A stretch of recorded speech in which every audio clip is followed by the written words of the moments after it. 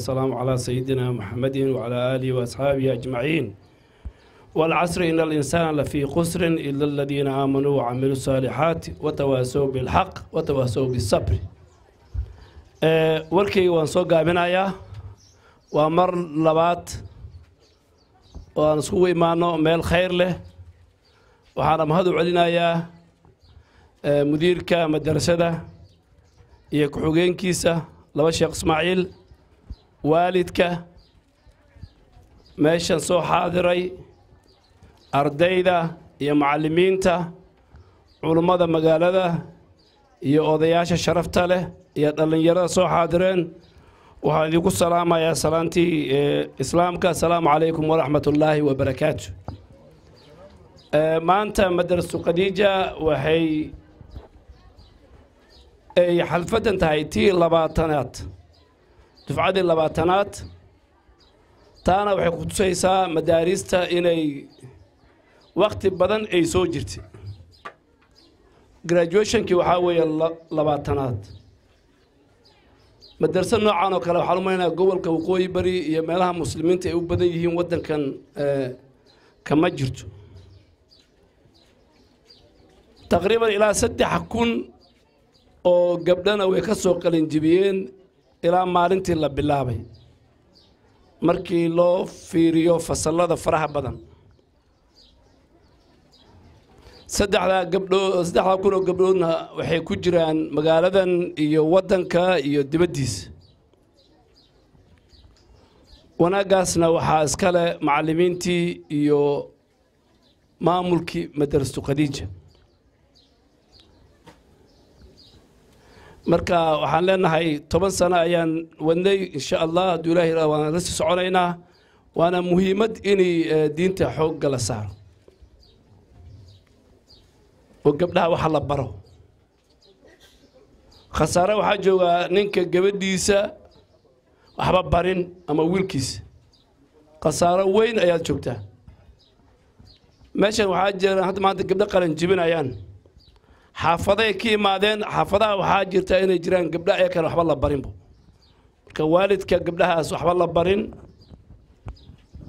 ayaan leenahay waa inay furso weyn aad ay muslimiinta ay ka qaataan madaariista iyo macadka faraha badan iyo jaamacadda mustaqbal. In laga faa'iido caruurtiina wax aada bartiin. Sheekh maxamed cabdi ilaa khayra siiye taariikhda madaaristada wuu ka hadlay. Marka waxaan waxaa la rabaa madaarista sheekh maxamed cabdi iyo muse xuseen iyo sheekh mudcus rasuul iyo alxarameyn wakhtigoodii way soo qaateen wax bay ka qabteen.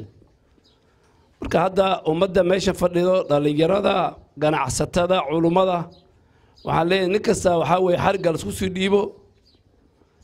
Waa inay hooyooyinka iyo gabdhaha wax la baro oo diinta la baro waxaan mahad weyn u celinayaa maama xaawo oo hadda khudba meesha ka joodisay oo hooyooyinka magaalada iyadana iskugu keentay madrasada siriin oo wax barto oo markii wax la baray jaamacadda ka soo baxday iyadana hadda hooyooyinkii kuwii guryaha joogeen ayay isku aruurisay sifo ay dacwada ayakana ay qayb weyn uga qaataan. Marka maama xaawo waxaan leenahay adigana iyo gabdhaha kale oo waxa baraan magaalada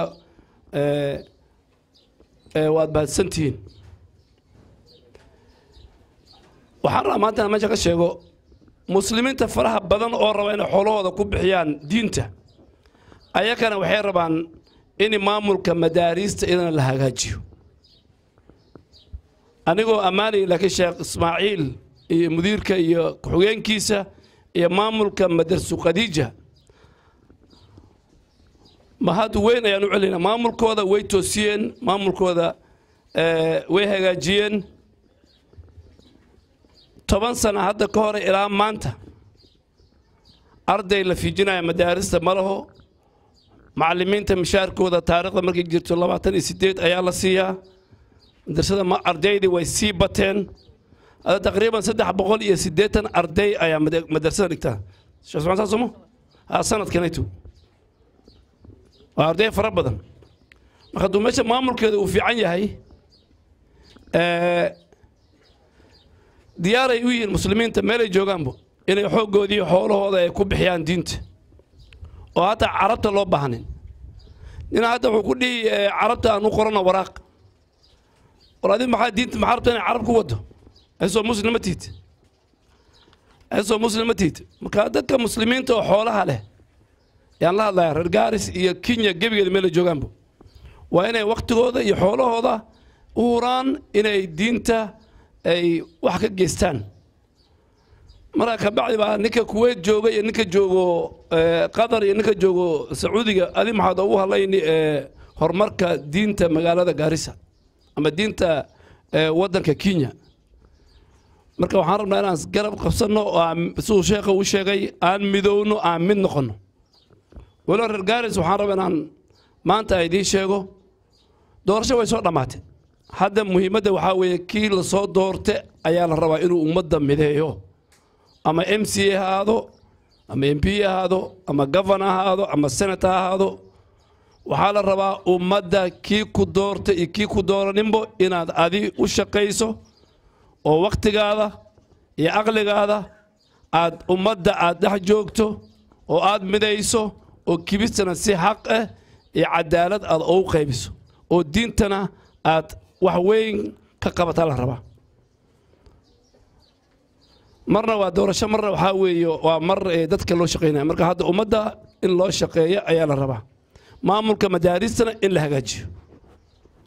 Marka eh, principalka jaamacaddan waxaan dhihi lahaa jaamacadda mustaqbal ani waan waan wadi laakiin ininkaa maamulka hadlaysan maamulka waa hadlaysan runta la sheego sol lama rabo Ah, haddii maamulka la soo celiyo oo la soo hagaajiyo jaamacadda mustaqbal waxaan rabnay inay noqdo jaamacadda ugu weyn oo islaamiga ah ee waddanka oo aan ku xirno waddamada kale oo madiina aan ku xirno oo jaamacadda suudaan iyo iyo masaarida azar aan ku xirno laakiin meel waxay soconi markii maamulkeeda eh, kol labaad intaad adig intaad aadin baanta ka hor ahayd hadda qofa dheer soo wacay anoo habeenimo joogo wuxuu yidhi dhulkii jaamacadda mustaqbal ayaa la- iibin rabaa. Marka dhulka jaamacadda u iibin kartiin. Dhul jaamacad islaami ay leedahay soo loo iibinaa? Marka haddaan isku dhacno ninka dhulka ay iibinaysin ani ninka waa isku dhacina dhulka madrasada iyo jaamacadda bannaanka laga maro. Hadda idiin sheega. Ah, ilaa iyo modhika iyo ilaa nuno dhulkaa dhulha loo doonto. Laakiin dhulka jaamacadda ay leedahay jaamacaddana waa inaan dib u soo habeenna waay marka waa- warkaneeto waxaa weeye madaarista annaga xoolahana waa ku bixinaynaa laakiin waa madaaristaas waa in maamulkeedana uu noqdo maamul fiican. Maamul fiican uu noqdo waay marka insha allah jaamacaddu hadda waxaa jirtaa eh, umma university waxaa jirtaa raf university waxaa jirtaa almustaqbal university. Maadaama almustaqbal ay ku taalla magaaladeenna waxaan rabnaa jaamacaddaas inay hor marto. Marka insha allah waan tashan doonaa jaamacaddaas waa in loo raadiyo rag zakadooda ku bixiyaan. Diyaar baa la heli toban qof oo oo muslin ah oo kiiba toban milyan bixiya sannadkii boqol milyan jaamacadda ku bixiyo. Laakiin lacagtaas intaana doonin ininkana waa inaad ogolaatiin inaan maamulkaas aan ha- aan habayno hadduu maamulka uu qalloocan yahay marka aadan bare meel qalloocan asagana madaxa ma gashanaayo shilinkana aan wado shilinka aan soo guraayo waa shilin anigkeyga aan zakadayde ama mid aan ka soo qaadanin aan walaal leh oo saaxiib oo muslim leh. Marka waa inay la ilaaliyo shilinka walaalka muslimka zakada meesha uu gelaayo so guddiga maamula mustaqbal waa inaad ininkana eh, soo habaysiin aan imaana aan fariisanno. Marka aan habayna jaamacadda jaamacadda rabnaa inay hataa ardayda joogaan kismaayo iyo gobolkan eh, northern kenya ilaa isiolo marsabit. In looga soo kaco oo intaan jaamacaddii lagu soo herinayo ay noqotaan rabnaa marka eh, eh, waa shan sana waxaan rabnaa inaan diinta aan dhisno inaan xoolahaana iyo xooggaana iyo aqligaana aan ku bixino diinta. Ayaan diyaar u nahay oo madaarista magaalada ay sii badato oo tuulooyinka la, tago. Duqa dubbadna waxaan dhihi lahaa daawooyinka geela way tuban yihiin waddankan. Hataa madiina haddaad tagto daawada geela waad ka heli noocay haataba. Laakiin geela inta weli la dhaqin horta waa in diinta meel lagu tiiriyo. Geela iyo diinta yaa daran. Diintaa daran. Marka ani waxaan rabaa inaan suudaan iyo waddamada agaan tago waxaan rabaa inaan eh, wixii diinta waxa u tari lahaa inaan ka shaqayno insha allah geelina hadda roobaa dhacay. Laakiin eh, dowlad goboleedkana kollaba takhaatiirtii eh, daaweynaysa geela way hayaan. Warkoodana waanu gaarsiinaya wasiirka xoolahana adi waxaa tahay inuu nin xoolaha aad oga shaqeeye? Insha allah waan raadinaynaa daawooyinkaasito insha allah marka eh, bulshada reer gaaris lama huraan sidaan idiin sheegay caws jilaal moho lama huraan waxaa weeye sidii diinta loo dhisi lahaa taasaa lama huraan. Sheekh maxamed cabdi ugu duqoobay garbaha aan isqabsanno siduu sheegayey aan midowno aan mid noqonno markaa kabacdi aan eh, eh, aan aan diinta u shaqayno um- ummadda muslimiintana aan garab istaagno. Eh, mudiirka mustaqbal wuxuu sheegay arrimaha facebook iyo social media. Arrimahaas way jiraan laakiin waktigooda wuu soo dhammaanaya baarlamaanka insha allah wiigan waxaa la keenayaa sharci sharci ka shaqaynaya si loo maamuli doono facebook iyo iyo whatsapp iyo waxa. Markaa sharcigaa markaad maqashiin madaxweynaha waddankan wuu ansixiyey. Marka adi qof facebook waca adiga sharciga markaa isalaysiin markaa si waddamada kale social media waxaa la rabaa in lagu faafiyo diinta. Waa waa shay fiican waa platform fiican. Khudbada sheekha joogo xaramka qofka gaaris joogaa ka dhegaysan karaa telefoonkiisa. Culummada wacdiga iyo waxay samaynayaan gebigooda. Waxaa la rabaa inay social media oo social media loo isticmaalo si wax wanaag ah laakiin hadda wuxuu keenayaa qarri fara badan uu keenaya caayada dhib lahabo laakiin wax kale oo qarri fara badan ayuu bulshada iyo dhallinyarada iyo carruurta u keenaya marka waxaan rabnaa in social mediaga loo isticmaalo si wanaag si ay bulshada ay uga faa'iidi ayaan rabnaa. Ugu dambayn waxaan rabaa inaan eh, u soo jeediyo culummada culummada eh, magaalada gaaris weliba waad ku mahadsantihiin warkeyga mar aad maqasheen. Guurka waa in la fududeeyo. Ah, guurka in la fududeeyo waay guurka in la fududeeyo sidii ay eh, diinta iyo sunnada nebiga ay farayso oo la joojiyo gabdhahan meherkooda la leeyahay dollar iyo wax la sheegay. Sheekh maxamed cabdi waxaan rabaa inay culummada la hadasho.